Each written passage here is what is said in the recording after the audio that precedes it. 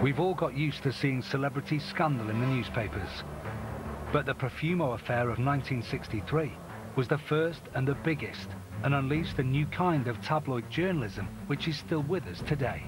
June of 1963 was like a feeding frenzy of piranhas in Fleet Street. I mean, it, the, the, the excitement and the salaciousness uh, was with, absolutely without parallel. In the early 1960s, Britain was still emerging from the gloom of the Second World War. A new generation was helping to make London the hippest place to be. 21-year-old Christine Keeler was drawn to the city to work, but soon began to enjoy other benefits. She wasn't in any sense a sex worker. Um, what she was was a pioneer young woman of the 1960s who slept with men when she wanted to and liked to have a good time. In 1963, the government Minister for War, John Profumo, was a rising star of the House of Commons. He was a very rich, a handsome womanizer, married to uh, quite a famous actress and film star called Valerie Hobson. Christine Keeler was working and socialising in swanky London nightclubs and she met an eccentric osteopath, Stephen Ward, who offered her a place to live. Ward was also an artist, and that brought him into contact with many wealthy and important people, including politician John Profumo, known as Jack to his friends. It was Ward who introduced Christine Keeler to Jack Profumo. Jack Profumo and Christine Keeler met on a very hot summer evening by a swimming pool at Cliveden, which was Lord Astor's house on the Thames near Maidenhead.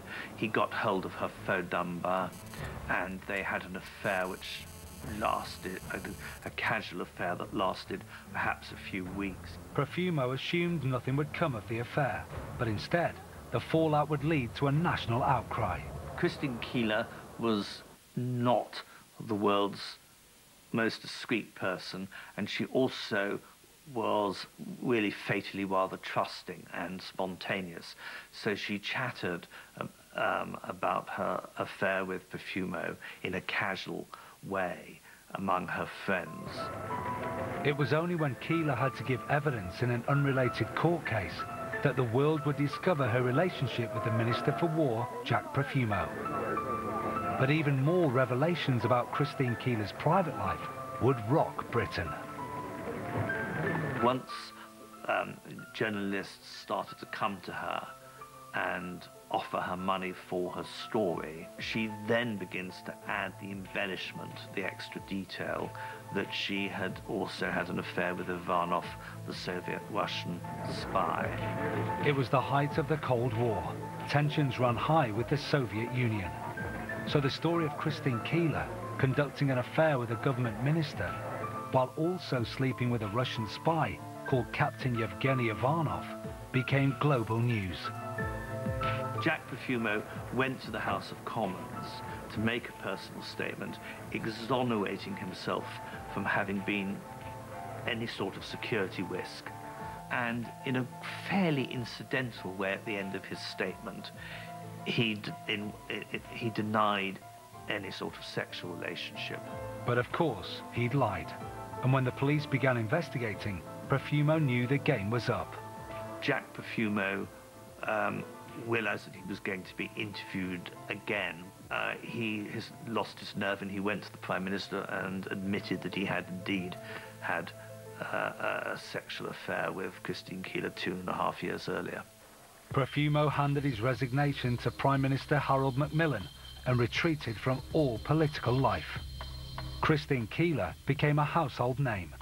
But the man who'd introduced her to Jack Profumo would pay a high price. Stephen Ward was investigated by the police and arrested by the police, essentially for, as a pimp, um, just because he'd introduced people at parties who got off after the parties together.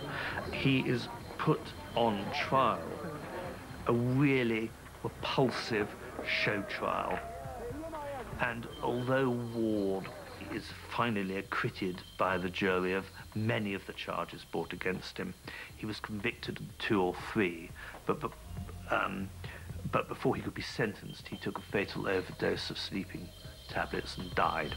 The Profumo affair was the first tabloid expose of its kind, but it sold newspapers. So began the era of tabloid journalism that continues to this day.